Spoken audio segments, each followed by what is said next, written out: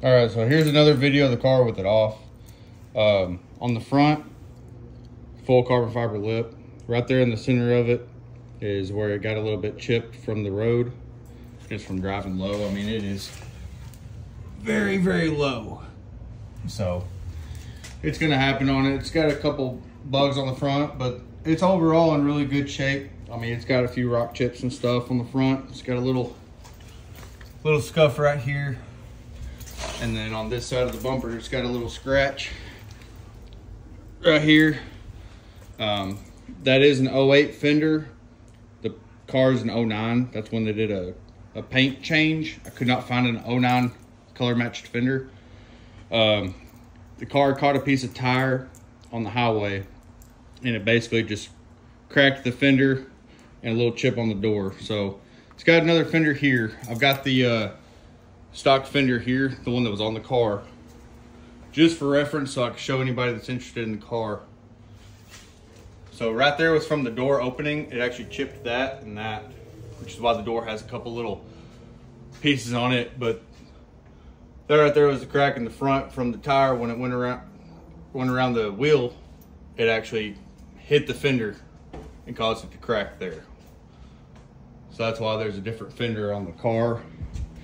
No insurance, anything like that. It was just a fender damage. So that's the that's the gist of that.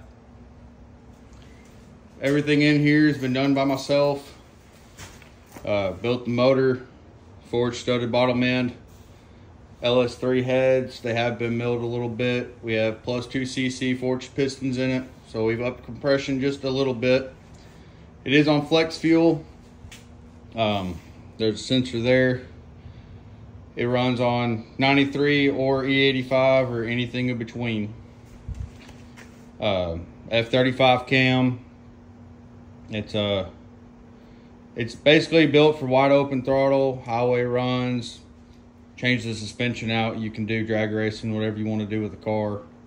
I built it as a fun street car. Does have the nitrous there. Runs into a nozzle underneath the carbon intake. Um, set up for a 150 shot right now. Purge lines right here, right at the uh, the windshield wiper. Just a easy little setup. I've got the uh, the fuse over here in the back. It's got the Lingenfelter two-step box with the catch can set up here. Um, brand new alternator on it. Everything on this is basically brand new. We just went through the entire car. Um, I've had the car about a year and a half. When I bought it, she was basically stock. She had some C7 Z06 rep wheels. Um, and I was basically it. It actually had the carbon intake and uh, headers when I bought it. So wasn't much done to it. Ended up doing a few things. Pulled the motor out to uh, do a clutch job.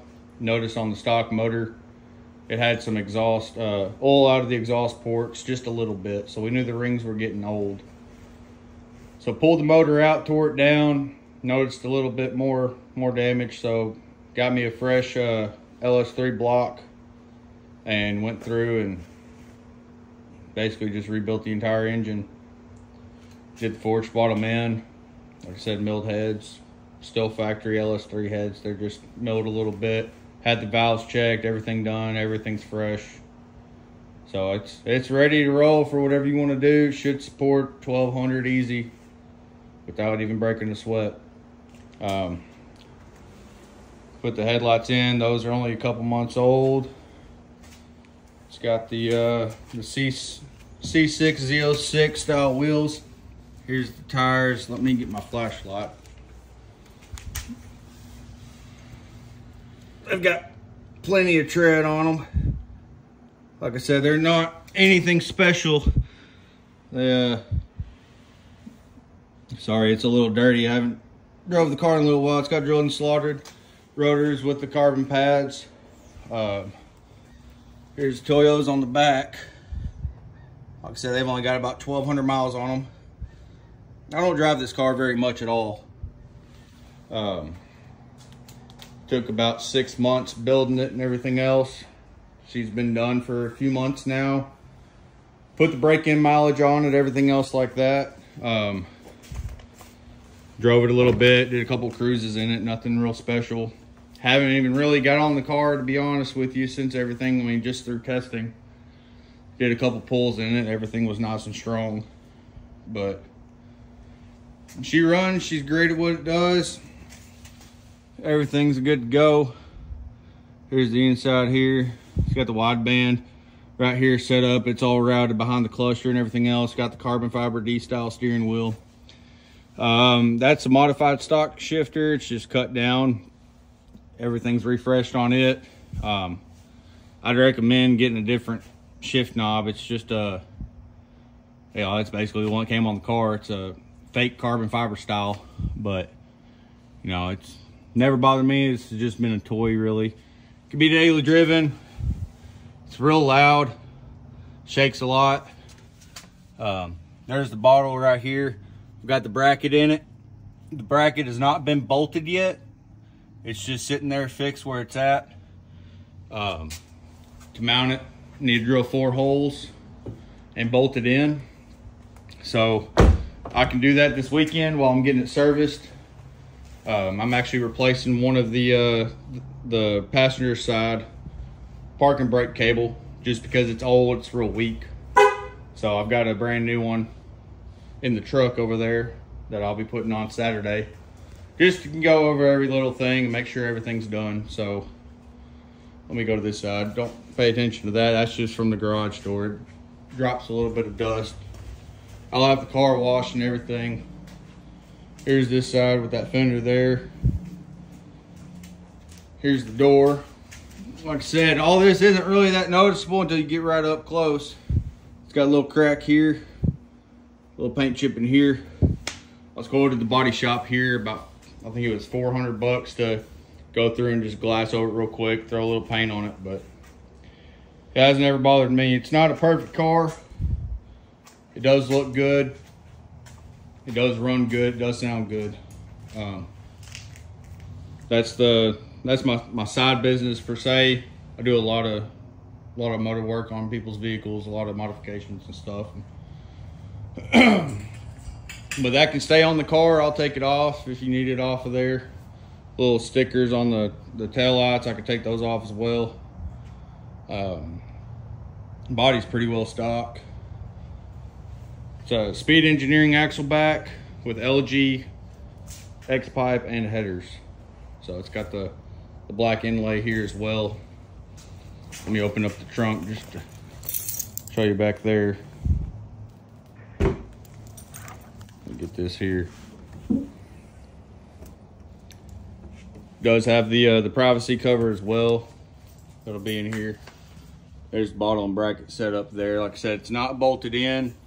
I didn't really want to bolt it in with, you know, plans of selling the car just in case somebody wanted to, you know, mount it farther up if they want to mount in the middle or the back, wherever they wanted, there wouldn't just be extra holes in the car.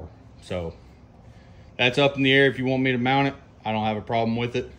I just was kind of leaving that for whoever was going to get the car and keep it. That way they could mount it wherever it's going to be convenient for them.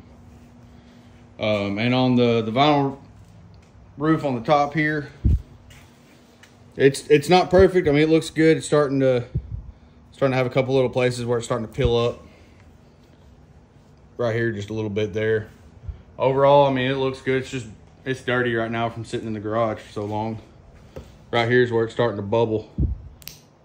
Probably heat it with a heat gun and they'll probably lay back down. But on all these cars, wrapping them, right here is a tight spot where it's got to be pulled over. And a lot of times these like to lift after a little bit. So this has been wrapped uh, probably about eight, 10 months ago. Like I said, it stays in the garage. My garage is not heated or cooled or anything, so that's probably why it started lifting a little bit. But overall, I mean, here's the car, man. Like I said, uh, there's a couple little spots on the hood where the panel bond comes through. Silver and white especially are the worst ones to, to get it. There's a little spot there. I'll lay this down so you can you can see. It's not real noticeable. A lot of people don't notice it, but I do. I notice everything. So there it is with the hood down. I've got a, I don't have it latched, but certain lighting, you can see it right there. And then you step over. On the other side, you didn't see it. On this side, you see it. So it's one of those. I thought about wrapping the hood black, you know, kind of with the top and everything else. But like I said, I'm I'm ready to move on to something else. Get you know something more of just a, a standard vehicle, you know, something nice interior and everything else. But getting out of the fast cars and everything else like that. So it uh it kills me to sell the car or trade it off, but uh, it's built to handle anything and built to be a pretty rowdy car. So definitely be a fun one to enjoy. But yeah, here it is. So if you got any other questions or any other concerns or anything like that, just message me. You know, I, I like to be as transparent and upfront about every bit of it as I can be. So you just let me know if there's any questions or anything that you've got, and I'll try my best to answer any of them. That way, you know everything about the car before you even come to see it. So.